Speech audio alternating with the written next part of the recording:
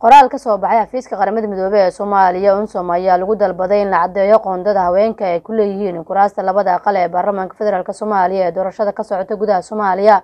Qoraalkan ayaa lagu sheegay in dumarka soomaaliyeed ay kaalin wanaagsan ay ku leeyihiin nabadda iyo xasilinta dalka sida hadalka loo dhigay.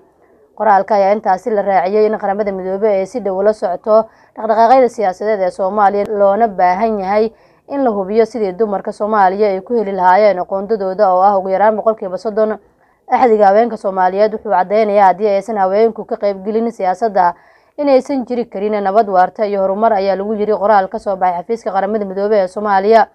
Hogaaminta iyo ka qaybgalka buuxa ee haweenku helaan waa qodobada halbowlaha u ah siyaasadaha loo dhan yahay. Soomaaliya waxay ku baaqaysaa in si isku mid ah looga wada qayb qaato dhammaan howlaha siyaasadeed iyo hanaanka nabadeynta iyadoo loo marayo qoondada haweenka ee boqolkiiba soddon ee hay'adaha dowladda ayaa lagu soo gabagabeeyey qoraalka. Marka laga qiyaas qaato doorashada xildhibaanada aqalka sare ee baarlamaanka federaalk soomaaliya ee ka soconaya dalka waxaa muuqata in haweenka soomaaliyeed ay helayaan qoondada haweenka ee boqolkiiba soddon. Qadre cali jimcaale v o s t v muqdisho